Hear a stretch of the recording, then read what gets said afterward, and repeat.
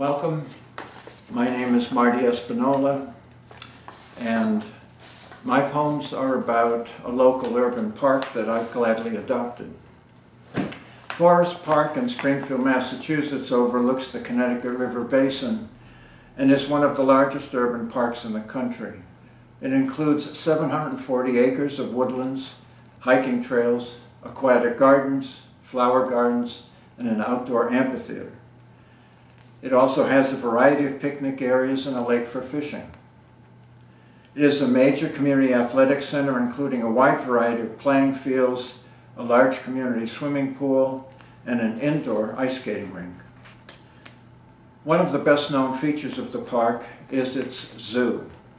Many adults in the Connecticut River Valley will remember visiting the zoo as children, as do I. They now bring their own children and grandchildren to see the animals and listen to the various educational programs.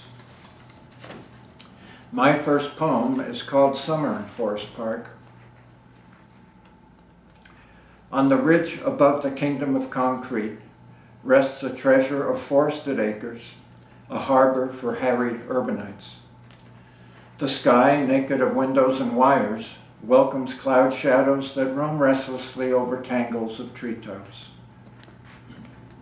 The woodland is host to a multitude of creatures.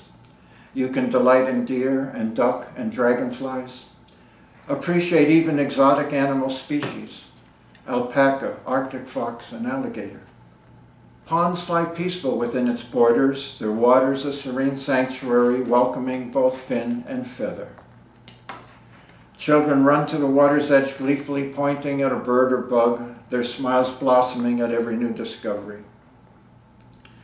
Among the ash, hickory, maple, and oak, one can explore ever-winding pathways as concealed critters call to one another, sprinkling the silence with their cryptic conversations. My steps here are cushioned by ages of earth as I stride lightly upon this protected land, hoping it will remain a nurturing retreat, freely welcoming the footfalls of future generations.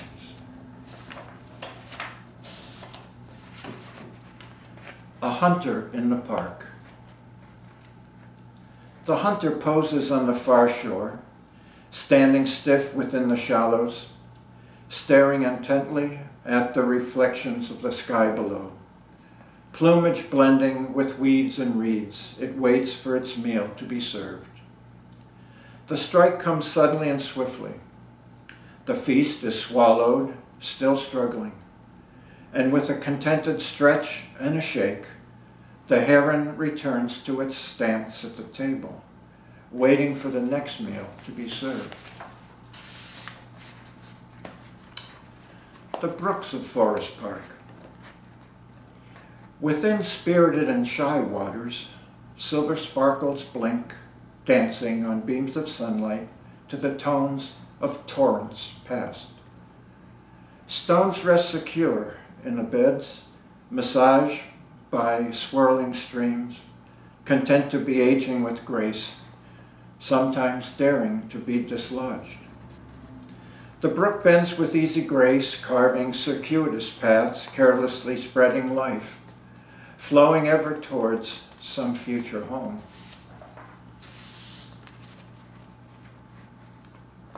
The geese above.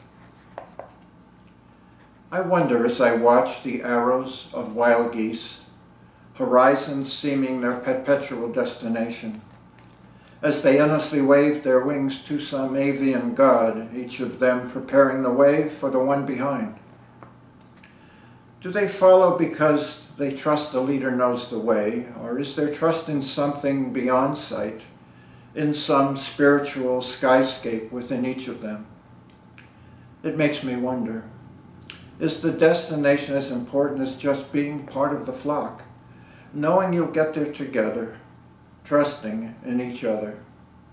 I wonder. Thank you.